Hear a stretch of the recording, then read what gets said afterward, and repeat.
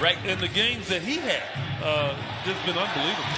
Duarte getting shot blocked by Booker, able to retrieve, winding up.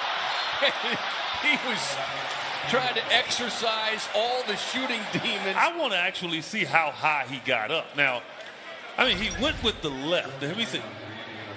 Oh, I'm telling you, ooh, ooh, he was there. He was right there.